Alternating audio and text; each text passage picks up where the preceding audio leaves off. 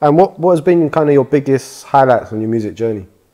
Well, um, apart from the 2011 times, you know, the tours we did around then, the shows in Isle of Wight, we managed to get Nice. quite a lot of views, hit a couple of million views in that, that one year. Um, I remember probably one of the biggest highlights for me was um, finally performing at the O2 Indigo, which Nice. I was only a year ago working security at. So, you know, you can imagine walking the artists to their uh, to the dressing rooms back and forward, seeing them performing, per- per- performing, just dreaming of being there one day, and you know, I managed to make that happen. But it was a bit of an anticlimax, you know. I thought, I thought once that happens, I've made it, but Yeah. I still had work on Monday. No, fair enough. I think that's how it gets. It's, a, it's, it's quite hard for, for up and coming artists, yeah, especially when you're independent as well. It's quite hard, I imagine. exactly that.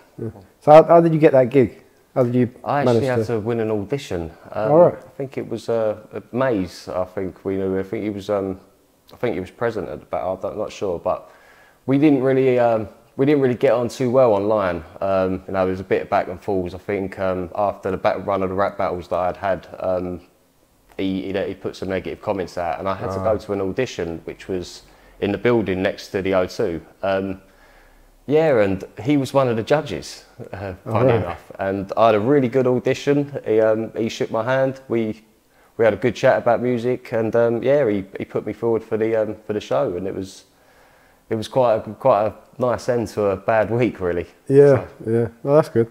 And you performed uh, Light in the Sky? Light in the Sky, yeah, that was uh, that was one um, I record, I wrote that song, I released it ten years um, on the day that uh, my dad passed. Oh, okay, right. So um, yeah, it was uh, it was nice to perform that one in front of a you know, decent crowd like that. I can imagine, yeah, yeah. That's, uh, so it was like a tribute as well. Yeah, Yeah. yeah. That's nice. Talking about another one of your biggest tunes, I think Your Lies. It's pretty good. Well, that's funny story with that. I wasn't. I was not even going to release that. Oh, right, um, why? The, the instrumental got changed on the way to the studio.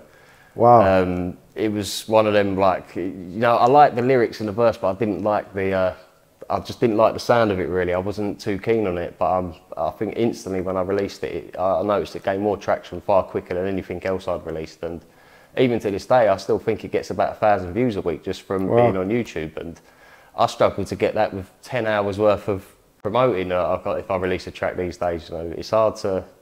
But again, when you get when you get something in a in the right place, it almost promotes itself. yeah, yeah.